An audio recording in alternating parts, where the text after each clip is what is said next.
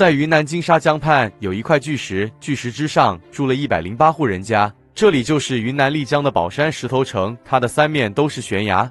我真的非常好奇，他们为什么会选择住在这样的地方？现在这里已经通了自来水，但是在以前吃水都是很大的问题。这里看着太险峻了。